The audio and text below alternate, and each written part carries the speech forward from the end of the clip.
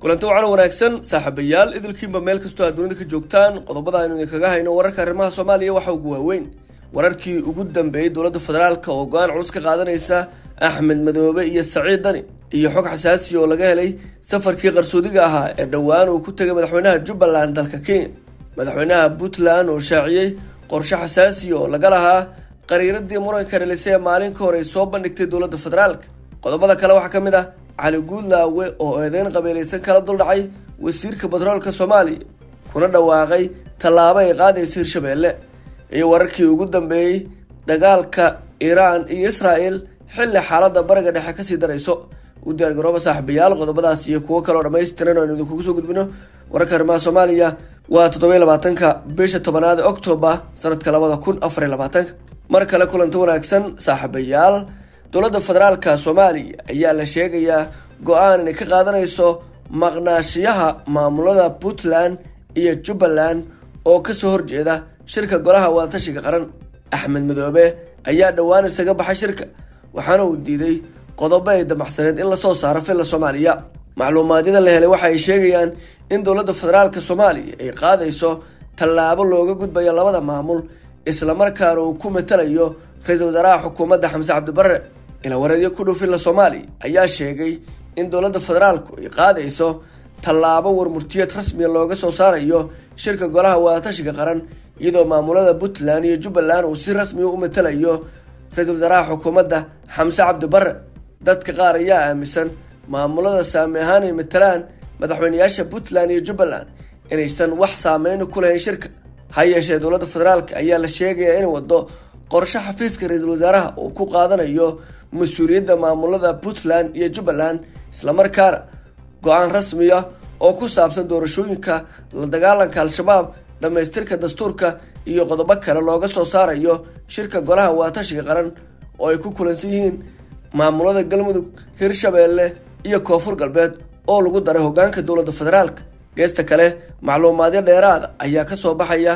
safar maalin ka hor uu dalka kenya ku tegay hogaamiyaha jubbaland axmed maxamed islaam madoobe ilawareedyo muhima ayaa sheegay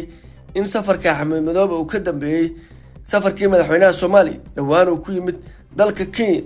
isagoo madaxweynaha waddankaas william ruuto ka codsaday inuu dhexdhexaadiyo isaga iyo hogaamiyaha jubbaland si uu dib ugu laabto shirka golaha wadatashiga qaran. Xogta la helay waxay tilmaamaysaa in axmed madoobe hogaamiyaha jubbaland magaalada eldoret uu kula kulmay madaxweynaha kenya william ruuto ayna ka wada hadleen arrimaha xiisada soomaaliya. Ruuto ayaa la sheegay in hogaamiyaha jubbaland uu ka codsaday inuu ku laabto shirka golaha wadatashiga qaran kana soo dabco qodobada uu ku dhegan yahay. Ha yeeshee madaxweynaha jubbaland ayaa mar kale ku adkaystay saddex qodob oo ku sheegay inay lama taabtaan u yihiin jubbaland. Wararku waxay sheegayaan kulanka dhex maray axmed madoobe iyo william ruuto inay sar ka soo bixin qodobo u daneynaya dowladda federaalka soomaaliya maadaama uu ku dhegay madoobe saddex qodob oo horeyba ugu dheganaa saddexda qodob ee hogaamiyaha jubbaland laga fujila ayaa waxay kale yihiin in la qabto doorashooyinka jubbaland ee baarlamanka iyo madaxtooyada islamarkaana aan la dhaafin waqtigii loo asteeyey ama mudaxileedkooda u keekaa in haddii la qabanayo doorasho qof iyo coda ay noqoto mid loo dhan yahay ayna ka soo qayb galaan dhinacyada maqan sida puntland oo kale iyo in guddiga doorashada ee ka shaqeynaya arrimaha doorashooyinku ay noqdaan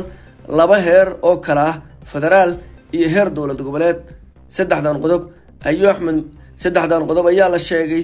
in hogaamiyaha jubbaland uu aada ugu dhegan yahay isagoo wax dabacsanaan aan ka muujin kulankii uu la qaatay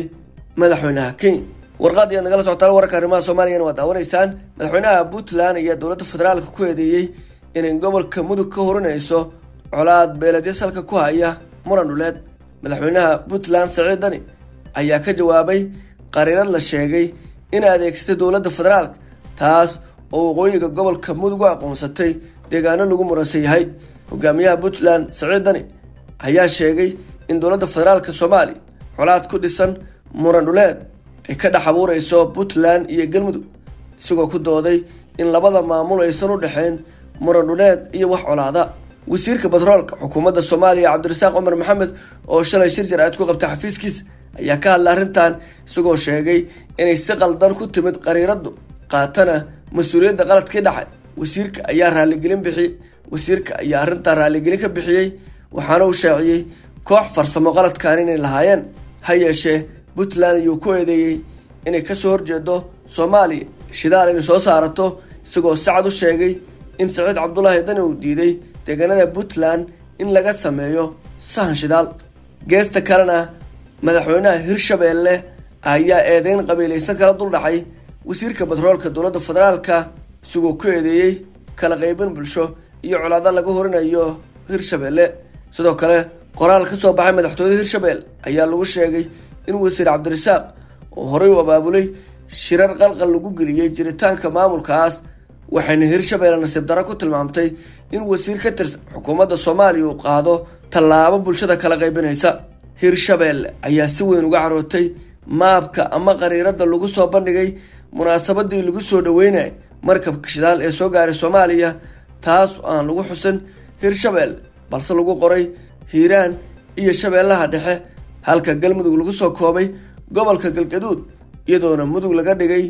dhul lagu muransan yahay guudaan saaxiibayaal waa naga taad wararka arrimaha soomaaliya warqaad kala socoteen intaynu warkan warka xiga kulmayna haddii waa la qadaro nabadgelyo. Bishaaro muhiima ma la jeceshahay naftaada carruurtaada qoyskaaga iyo qaraabadaada inay waxbarasho ku qaataan dalka masar? Haddaba haddii ay jawaabtaadu haa tahay deeqsan fiisa ayaa kaa caawin doonta helista dalkugalka masar iyo fududaynta fursadaha waxbarasho ee jaamacadda al ashar iyo macadyada hoos yimaada. Sidoo kale qoysaska raba inay degaan masar si ay uga faa'iidaystaan fursadaha waxbarasho ee ka jira. Deeqsan waxay u diyaarisay fiise jaban oo wakhti kooban ah iyada oo weliba ka caawin doonta ku biirista u-n-ka waxaa kale oo deeqsan ku haysaa fiisaha dalalka kenya yuganda iyo sacuudi carabiya oo si deg dega lagugu soo saarayo. Sidoo kale xafiisyada diyaaradaha ee doonaya inay nagala shaqeeyaan adeegyadan aan kor ku soo xusnay. Waxaan u haynaa fursado kale oo muhiima haddaba si aad u hesho macluumaad dheeri ah kala xiriir watisab ama wicitaan caadi ah nambarada kale ah balaas labaatan shan labaatan lix toban shan konton toban toddobaatan lix